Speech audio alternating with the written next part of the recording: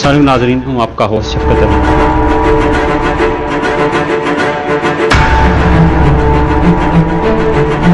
अली आप क्या कह सकते हैं कि बिग बिंग से पहले क्या था? जो हमारे ऑडियंस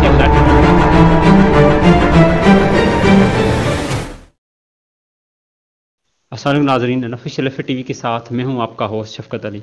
जैसे कि इस प्रोग्राम में हम आपकी मुलाकात करवाते हैं किसी ना किसी ऐसी मोटिवेशनल शख्सियात से जो मोटी शख्सियात होते हैं। आज भी हमारे साथ ऐसे ही एक मोटिवेशनल शख्स मौजूद हैं, जिसका नाम है असद अली कांसलो असद अली कांसलो की खासियत ये है कि इन्होंने कुछ थेरीज पेश की हैं जो कि यूनिवर्सिटी ऑफ़ शिकागो अमेरिका में एक्सेप्ट हो गई हैं और कुछ हाइपोथेसिस दी हैं उन्होंने जो एक्सेप्ट होने वाले हैं। तो उनसे जानेंगे कि उन्होंने कौन सी थेरीज दी हैं और जो है और कौन सी हाइपोथेसिस हैं उनके और उनका जो स्पेशल काम चल रहा है वो चल रहा है कि यूनिवर्स जो है बिग बैंग के पहले जो यूनिवर्स था वो किस तरह से था? मीन्स इस दुनिया की जो एवोल्यूशन हुई है वो किस तरह से हुई है? फार्दर उनकी थीरीज के बारे में हम जो भी क्वेश्चन हैं उनसे करेंगे। सबसे पहले मैं उनके पास चलूँगा। असलम सर। वालेकुम सलाम।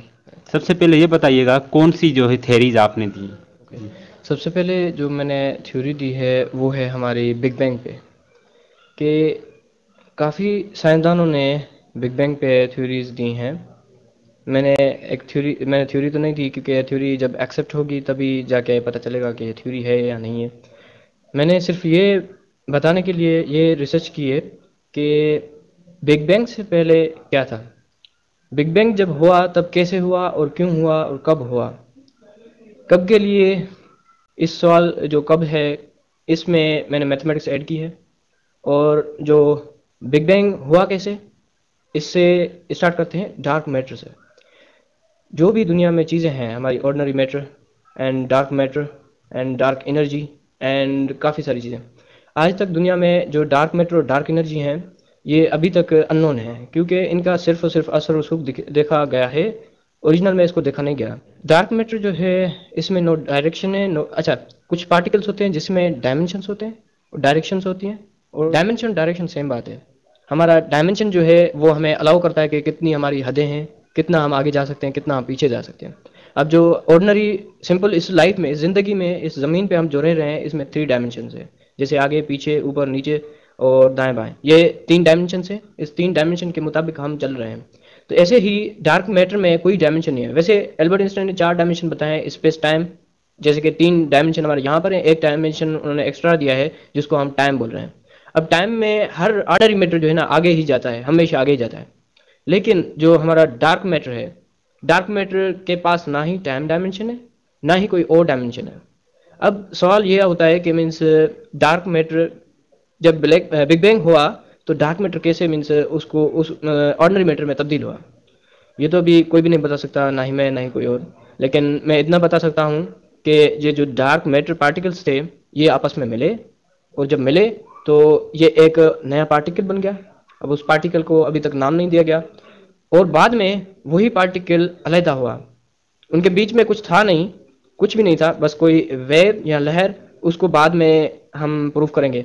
लेकिन जो वेव और लहर आई उसमें तो वो टाइम का डायमेंशन प्रूफ कर गई और उसमें क्रिएट कर गई और मोशन क्रिएट हुआ।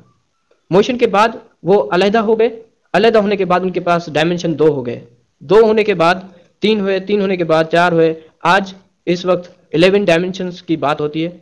सो so, उस वक्त सिर्फ़ और सिर्फ़ एक डायमेंशन था जो वो पार्टिकल अभी तक अननोन है। अगर उस पार्टिकल्स को उस पार्टिकल को हम ढूंढें जिसमें सिर्फ़ और सिर्फ़ टाइम डायमेंशन था तो वो बनता है हमारा दो डार्क मैटर के साथ।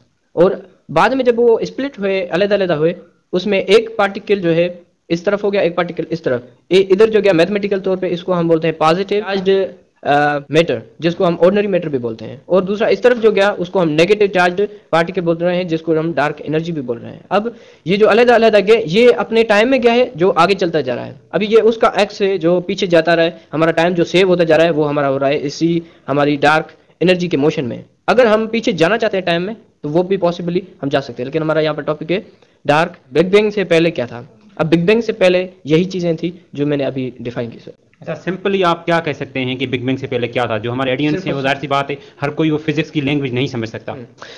बिग बैंग से पहले सिर्फ़ और सिर्फ़ डार्क मैटर पार्टिकल्स थे जिसमें डार्क मैटर पार्टिकल्स क्या थे ये किससे बने? ज़ाहिर सी बात है जब यूनिवर्स का आगाज़ ही नहीं हुआ था तो कौन सी चीज़ें जो है एडजस्ट कर रही थी? जिस चीज़ में कोई मोशन ना हो तो उसको हम डार्क मैटर पार्टिकल्स बोल रहे हैं। जैसे कि अभी यहाँ पर सब चीज़ें खामोश हों ठीक है?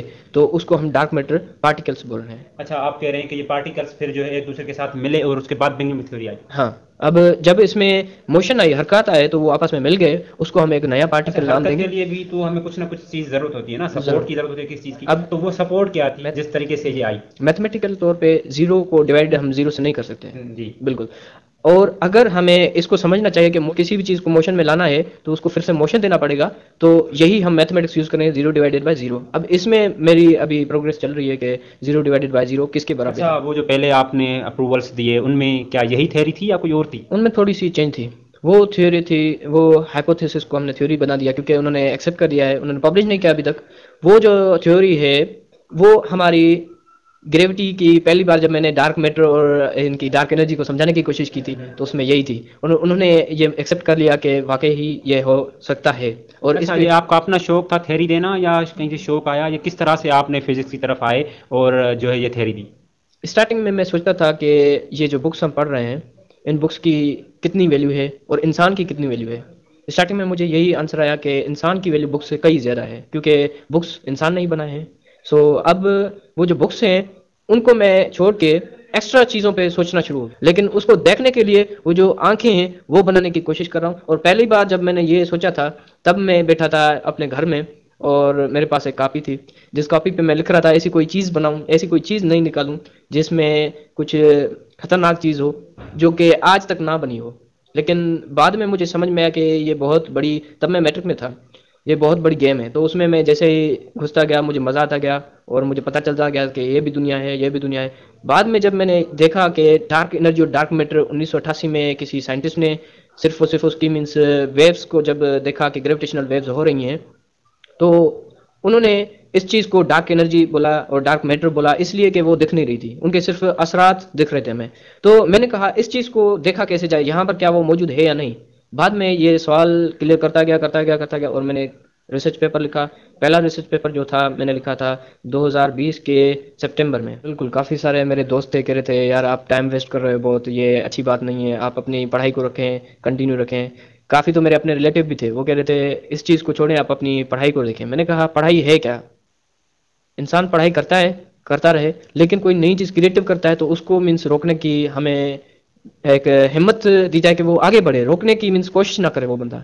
अगर मुझे कोई बंदा पहले रोक देता तो मैं आज इस टाइम इस चीज़ को सोचता नहीं। और ये एक दिन ऐसा भी होगा, आपने आइंस्टाइन की हिस्ट्रीज वगैरह पढ़ी होंगी कि वो बंदे स्कूल को कम तवज्जो देते इसलिए थे कि उनको बंदे डिस्ट्रैक्ट करते थे, कहते इधर नहीं जाओ, उधर नहीं जाओ। वो अपने आइडियाज़ पे चलते थे। अगर कोई बंदा क्रिएटिव काम करता है तो उसको काम करने के लिए आगे बढ़ना चाहिए। क्या मैसेज देना चाहते हैं? आप हमारे जो यूथ हैं वो जो है बिल्कुल मायूसी का शिकार हो जाते हैं जब उनको रिजेक्शंस मिलती हैं। रिजेक्शंस मिलती हैं तो उससे आपको सबक सीखना चाहिए और कहना चाहिए कि ये रिजेक्शन एक पहला कदम है। अभी ऐसे हज़ार रिजेक्शंस और भी आएँगे। आपको आगे बढ़ना चाहिए। कभी भी पीछे देखना नहीं चाहिए कि कितनी रिजेक्शंस आई हैं। आप अपने मकसद पे डटे रहें। हर चीज़ में जिस जिस बंदे का जिसका मकसद है जो भी है उस मकसद पे डटे रहें उसमें कभी ना कभी सक्सेस आपकी होगी। जी नाजरीन तो आपने गुफ्तु सुनी अ, असद भाई की जिन्होंने थेरीज दी हैं और लास्ट में उन्होंने मैसेज भी दिया उन लोगों के लिए जो होपलेस हो जाते हैं या नाउमीद हो जाते हैं रिजेक्शन के बाद। उन्होंने कहा कि उन्हें नाउमीद नहीं होना चाहिए और कंसिस्टेंसी के साथ अपना काम करना चाहिए। अगर रिजेक्शन है तो होप्स भी हैं और आगे हम कामयाब भी हो सकते हैं। इसके साथ मुझे दीजिए इजाज़त, फिर किसी और पर्सनालिटी के साथ हाजिर होंगे। तब तक के लिए अल्लाह हाफिज़।